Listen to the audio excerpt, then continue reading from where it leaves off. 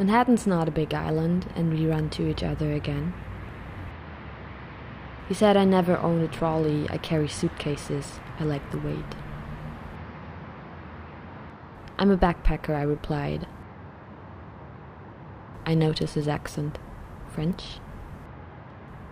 We are flotsam in these streets, living out a 40 pound shell containing our life.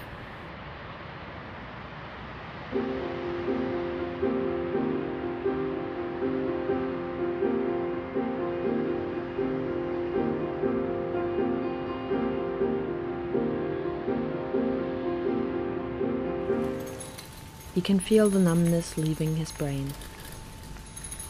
Side effects include sadness, anxiety, euphoria. He likes the last one, hasn't been feeling this much for a good year now.